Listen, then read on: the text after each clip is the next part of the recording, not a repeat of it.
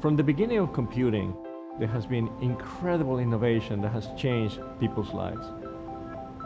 Every time a new paradigm emerges, the graphical user interface, the internet, the touchscreen, new applications are possible. The next step is glass-based air computing. It's really incredible how this went from hacking things in my apartment to fully interactive, enterprise-ready computing. This is the first computing experience that is inside out. That led to a host of challenges and opportunities that made us rethink everything about the computing experience. By putting a small screen near your eye, we create a large immersive display in midair. Your gesture, your glance, your voice becomes the new mouse. This is air computing.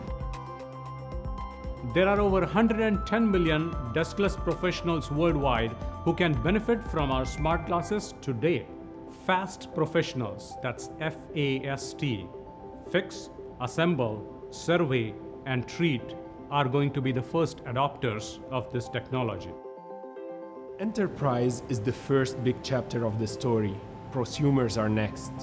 Eventually, this will enrich the lives of billions of people around the world. Smart glasses are incredibly complex. Every single aspect has to be right, from the field of view to the visual ergonomics, the interaction and usability, smoothness and mobility. Everything has to be perfect. You only get one chance to introduce a new category of computing. We knew we had to get it right the first time. We are not the first ones to envision the potential of this technology, but we are the first one to deliver a practical product.